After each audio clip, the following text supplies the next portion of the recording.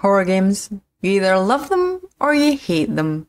I've played so many horror games from indie games to console games and even VR horror games, which really has never really worked out well for me. Can you maybe no do that? Jesus. Ah! Freaking hell! But to me, a horror game needs a few things to really grab me, and one developing team called Harvester Games brought out a few games that did just that.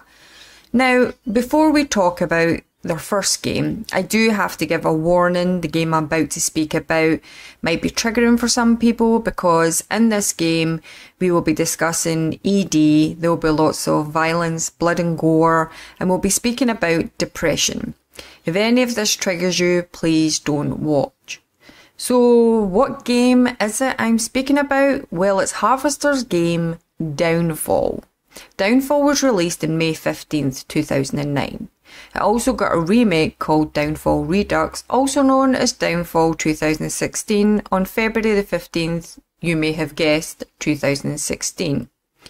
Now, the story was very much same as the 2009 Downfall, with small differences such as better looking graphics, difference in music, and some characters from another Harvester game added to connect the games together.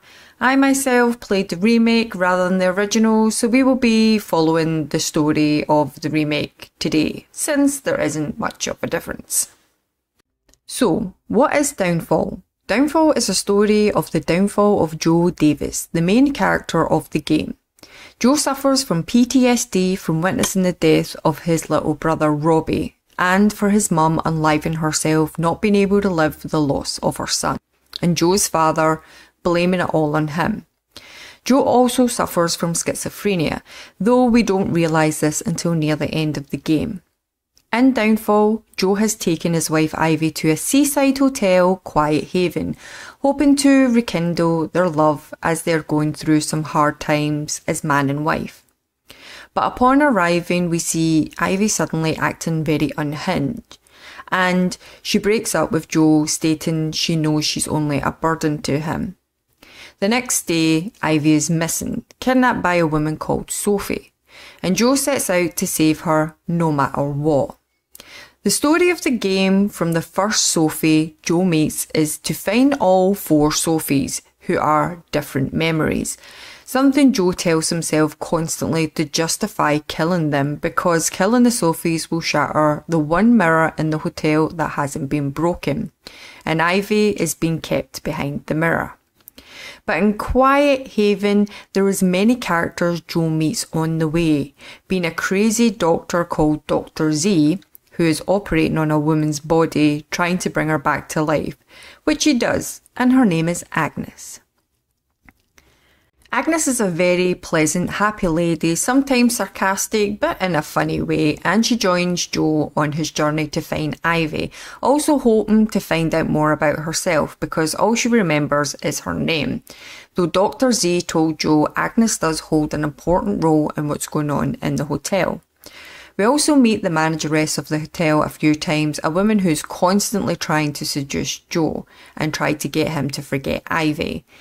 Each Sophie we meet, we see trauma in them, from wanting to unlive themselves because of how they look, or by what they have been said to them by an abusive boyfriend. We see a monstrous Sophie who is morbidly obese, who in one bathroom has tried to unlive herself in many different ways.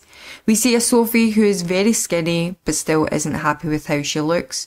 And we see a crazed axe murderer wandering the corridors of the hotel and one black cat. Through everything we see and everyone we meet, and each killing of Sophie from Joe's hands, we start to see the cracks in Joe's mind.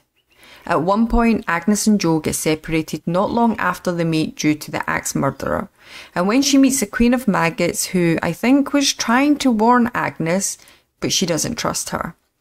At the end of the game, we realise that Joe hasn't taken Ivy to a seaside front hotel, but rather the basement of his apartment building in Helen Street the same building Susan Ashworth lives, from the cat lady. And when Susan is awakened by banging coming from Joe's apartment, she goes to check it out. When in his apartment, she sees a chair chained to the floor and a plate of rotten food on the table. This tells us Ivy probably stopped eating and Joe was force feeding her. This is when we realise all the Sophie Joe sees in his mind is actually parts of Ivy and her battle against her own mental health issues of having ED. That Joe thinking he was helping her was actually torturing her. And the Dr. Z Joe spoke to is actually Dr. Frank Zellman, Joe's psychiatrist in reality, to which in the cat lady, we see Susan finding a letter in Joe's apartment with the doctor asking Joe why he hasn't been turning up to his sessions. And Agnes? Agnes is the part of Ivy Joe fell in love with.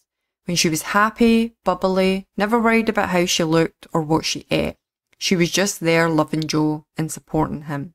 And the manageress from the Quiet Haven Hotel, who's always flirting and coming on to Joe, in Joe's mind, she's a perfect woman. A woman who will never be too tired or say not tonight. A woman who's always ready for fun. With Joe not seeing his psychiatrist anymore and having to try and support Ivy through her ED, Joe's mind broke. And the reason the Queen of Maggots got involved in Susan is because Joe has now become the sixth parasite. And if you've played the cat lady, you will understand what that means. And the one character, Harrison, who was very cruel to the 18 year old Sophie, telling her she was fat when she was so skinny.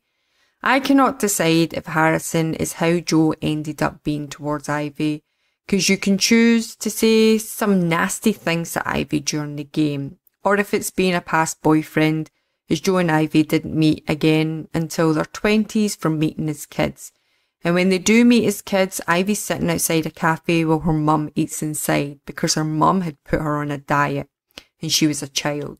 So we know where Ivy's ID comes from.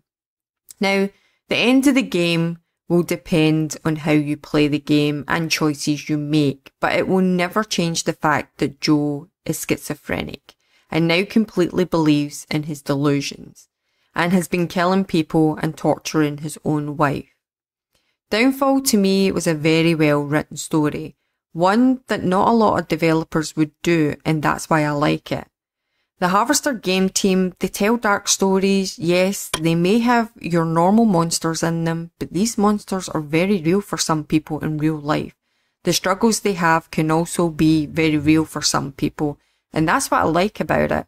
I hope you've enjoyed this synopsis of downfall, and I will see you in the next video.